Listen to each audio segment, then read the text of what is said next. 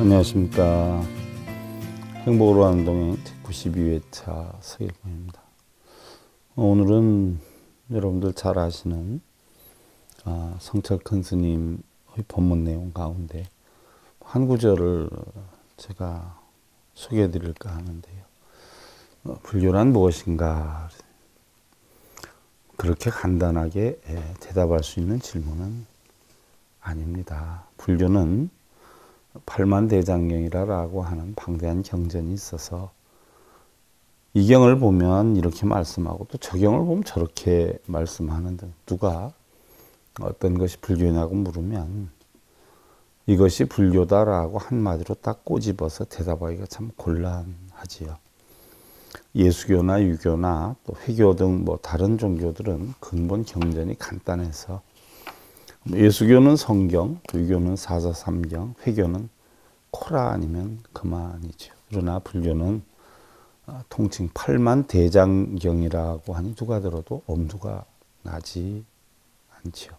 그렇게 많으니까 무슨 말씀인지도 알기도 어렵고 또 설사 좀 안다라고 해도 간단하게 어떤 것이 불교다라고 말하기는 어렵죠. 우선 어, 불교라고 하는 말 자체에서 보면 불교라고 하는 것은 이제 부처님의 가르침이지요. 부처다라고 하는 것은 인도말로 붓다라고 하는데 깨친 사람이다라고 하는 뜻이지요.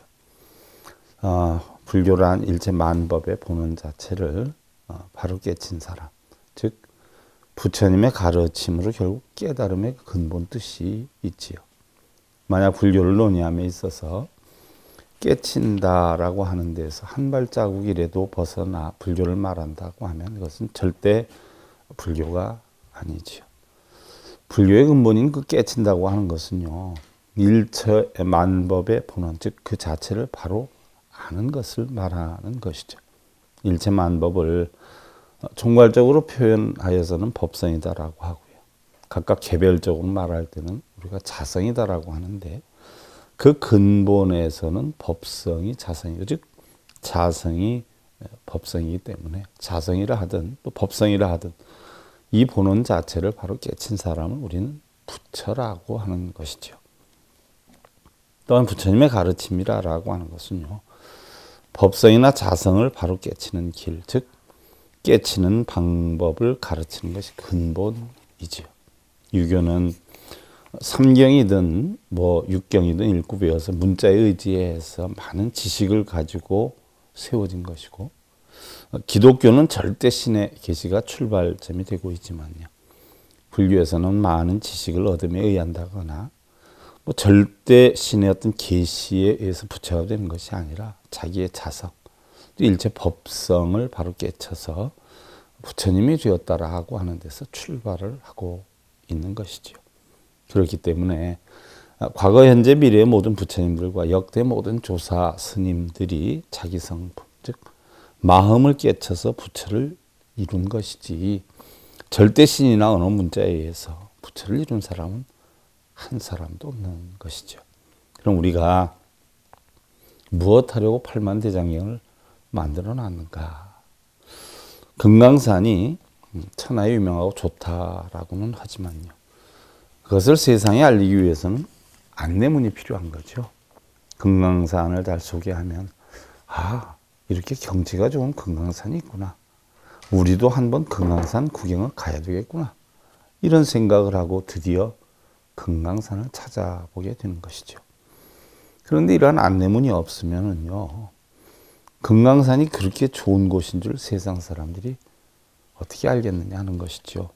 그 마찬가지로 이 언어 문자로 이루어진 언설과 이론인 팔만 대장경은요. 결국 깨달음에 이르기 위한 일종의 지도인 것이지요. 그런 언어 문자로 된 안내문이 없었다면 부처님의 훌륭하고 좋은 법을 과연 몇 사람이나 알고 있겠냐는 것이에요. 이러한 언어 문자의 기록이 있기 때문에 불교를 알게 되고 마침내는 부처를 이루게 되는 것이죠. 그러므로 우리는 팔만 대장경이라고 하는 지도에 의지를 해서 실제로 길을 가서 부처가 되어야 하는 것이죠.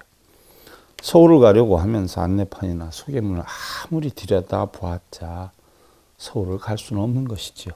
한 걸음을 걷든지 두 걸음을 걷든지 해서 마침내 남대문으로 쑥 들어서야지 그러기 전에는 아무 소용이 없는 것입니다. 언어 문자인 팔만 대장경이 성부라는 지도인 줄 분명히 아는 것이 꼭 필요한 것이지요. 불교는 유교처럼 부처님의 경전을 읽고 쓰거나 기독교처럼 빌고 기원하는 것이 아니라 팔만 대장경이라는 이런 지도를 통해서 자기 스스로 자성을 개최 한다는 바로 성철 큰 스님에 대한 가르침에 대해 살펴보았는데요. 우리 불자님들 각자 스스로 깨달음 이루시기를 기원드리면서요. 행복으로 가는 동행 제92회차 서일봉이었습니다. 감사드립니다.